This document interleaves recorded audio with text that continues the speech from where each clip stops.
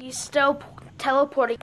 Where and it's so annoying because I can't catch with them, and it's so crazy because just one episode ago he was already doing this. Where'd he go?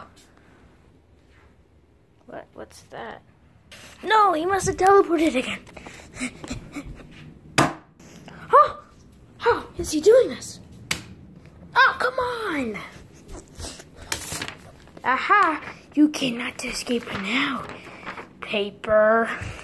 oh no! There, no, wait. What is that? There he is. Gotcha.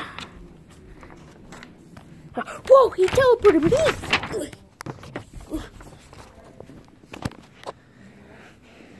you staying here. You lost all your power. you will never go around the house again.